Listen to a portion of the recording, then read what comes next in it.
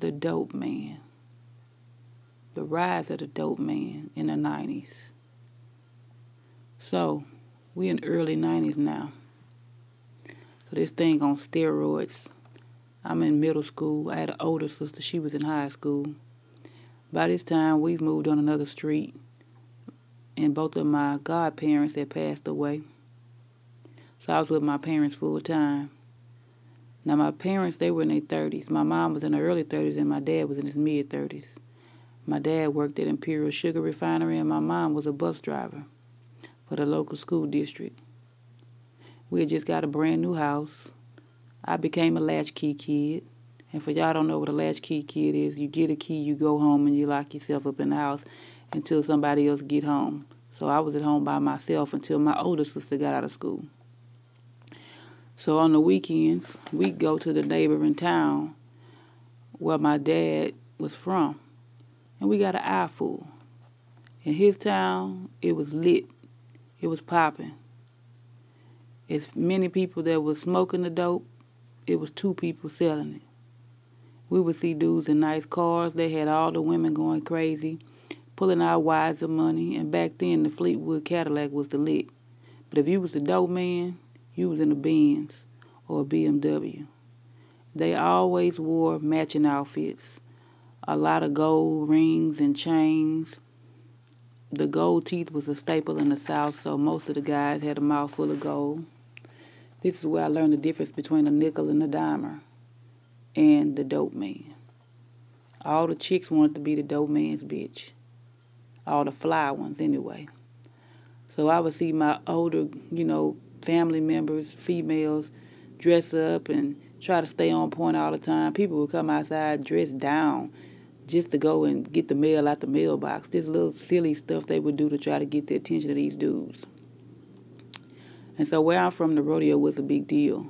So we also go to the rodeo on the weekends too, and just see a lot of bull riding, and you know they'd be frying fish, selling all kind of food, barbecuing. It was just a place to be on the weekends. That's where it was popping at a lot of times. So a lot of the cowboys was pushing the dope too. And a lot of people think rodeo was just like some bull, but rodeo is, is big money in rodeo. It's a it's a top sport. So as we walked around the arenas and was peeping everything out, having a good time, you know, a lot of people would recognize our faces because everybody knew everybody down there. And that's just how it was. You know, a lot of my dad's friends were in the game, so they would come by the house and I'd see the cars, the money, the jewelry, the fly watches. I seen how they swag, how they talked. These dudes stood out. So if it was if the if the dude was a dope man, you knew he was a dope man because the dope man had a certain, you know, swagger. He had a certain uniform. And so did they women. And speaking of the women, these were your you know, everyday people that you would see in your neighborhood. Or they might not be from your hood. It might be somebody they snagged from somewhere else. But they women stood out. They called them thoroughbreds, is what we call them in Texas. And if she was tall, she was considered a stallion. So anyway, this is before the builder bodies. These women were a threat to all the other women, and later they became targets. So all the hating started. Different women began to fight over these dudes and a lot of these girls were in high school. These high school girls was going with these grown ass men that was out here slanging dope. And these grown men, they took advantage of them being in high school. They would give them money, you know, keep them quiet, buy them all kind of clothes, you know, show them around, show them the game. But eventually this shit turned sour. These girls started to fight each other it started in the school and it spilled over into the streets. They started slicing each other up, running each other down with cars. And the men, they stood back and laughed because it was entertainment for the hood. Until the dope man met his match, which is his bitch. These chicks started to get spiteful. They started calling, dropping dimes on different dudes. Because most of these girls end up pregnant at a young age. Then they found out it's three or four girls pregnant for this dude. So it just became chaos everywhere.